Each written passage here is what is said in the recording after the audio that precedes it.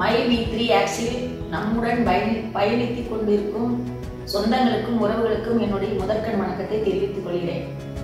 இப்போ my we three ஸ்டோரில் வந்து நிறைய பொருள் வந்து அனௌன்ஸ் பண்ணியிருக்காங்க. நாமளும் போய் வாங்கிட்டு இருக்கோம். வாங்கி வந்து ரொம்ப ரொம்ப நல்லா போயிட்டு இருக்கு நல்லா நம்ம பயன்படுத்திட்டு இருக்கிறோம்.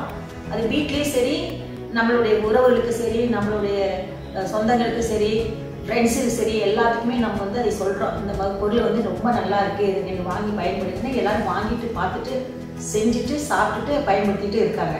இதில் நான் வந்து ஒரு ஒன்று ஒரு ப்ராடக்ட் பற்றி மட்டும் சொல்ல போகிறேன் டாக்டர் ஹேர் ஆயில் இது வந்து நான் ஃபஸ்ட்டு வந்து யூஸ் பண்ணேன்.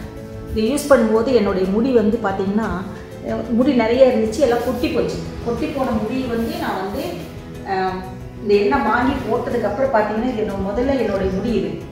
என்னுடைய முடி கொட்டி போய் எனக்கு முடி இருக்குது இது.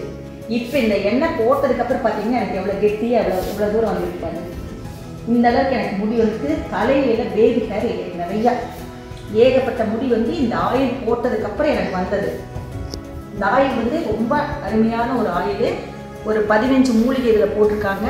இந்த ஆயில் வந்து நமக்கு வந்து என்றைக்குமே நமக்கு இந்த ஆயில்னால முடி வந்து ரொம்ப ரொம்ப ரொம்ப ரொம்ப நல்ல ஹெல்த்தியாக ஷைனிங்காக திக்காக லாங்காக நல்லா முடி நல்லா நீளமாக ரொம்ப நல்லா வளருது. ரொம்ப நல்லா வளருது. அதனால் நீங்கள் எல்லாருமே இந்த ஆயிலை வாங்குங்க. இந்த ஆயிலை வந்து நம்ம வந்து இந்த மாதிரி யூஸ் பண்ணணும்.